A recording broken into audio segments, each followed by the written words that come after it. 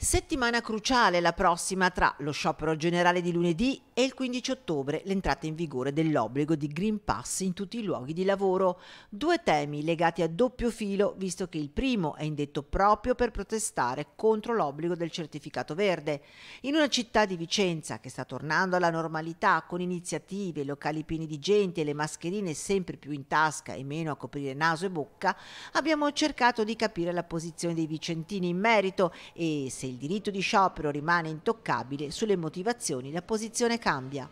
Non è il caso, cioè, il Green Pass ha un senso in questo momento e non, cioè, è servito a poter ripartire, a poter tenere aperto, a evitare un'ondata ampia, invece è stata un'ondata piccola, quindi credo che non serva. Il Green Pass ci deve essere. Quindi anche scioperare non ha senso?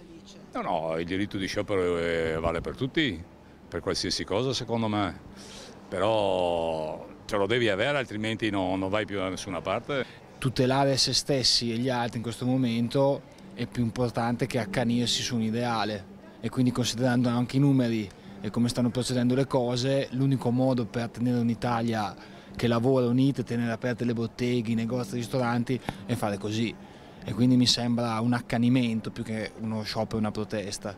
Se c'è un diritto è giusto che questo diritto vada preso in considerazione. Eh, io personalmente sono munito di Green Pass, sono d'accordo con il vaccino, però è sempre una cosa appunto personale secondo me. È legittimo scioperare, io ho una posizione assolutamente diversa, sono a favore del Green Pass, dal mio punto di vista andrebbe bene anche obbligatorio, Legittimo scioperare se uno ritiene che non sia d'accordo, fino a quando lo si fa in maniera civile, rispettando tutte le, le norme in termini di sicurezza e tutto.